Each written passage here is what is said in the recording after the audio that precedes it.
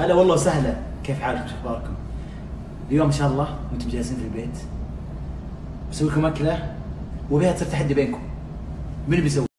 لأنها سهلة. شيء واحد. الشيء الثاني حتى عيالكم الصغار يقدرون يطبقونها زين؟ أول شيء ببدأ فيه البصل. حجم البصل مرة مرة مهم في البخاري اللي بنسويه الحين. هذا الحجم اللي نحتاجه. الحجم هذا. وشيء مهم رئيسي بعد عندي الجزر أبشرة.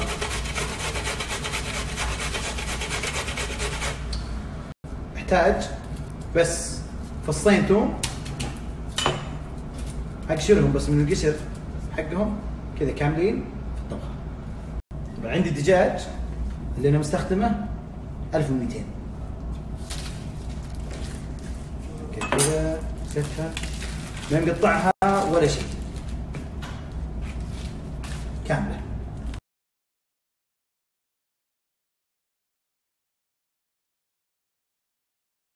عندي الزبدة معها زيت نزل الجزر مع الثوم. ونزل فوقها الزبيب وابدأ أحرك. بحط ملعقة سكر كاملة على الجزر. تصدقون لا لا بعد زيادة ملعقه وربع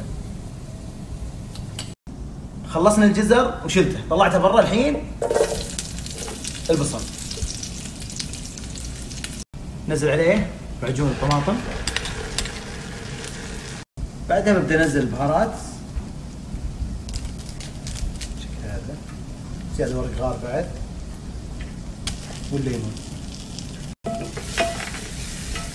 وبعد ما نزلت الدجاجة ابدا أقلبها على خفيف. بالشكل هذا بعدين على طول أصب الموية عليها.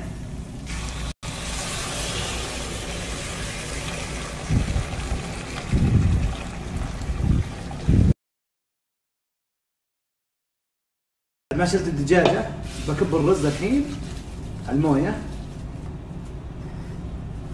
دقيقه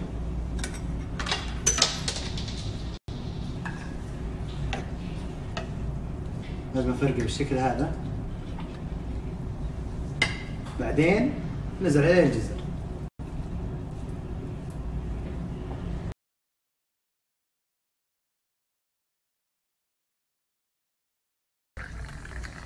أيوه. هذا هذا البخاري صح. بس طبعا أنا حطيت زيادة ثوم معه هذا شيء واحد. شيء ثاني شوفوا كيف الرز نثري. كل رز لحالها. كذا جهز البخاري لأن الصوت ذا يطلع بعد بس صدق اني بقطع الدجاج بيدي. بسم الله.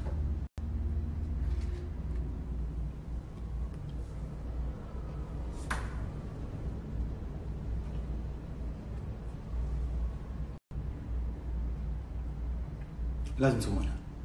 بخاري وانت ببيتكم وانت مرتاح. شايفين الرز؟ نثري.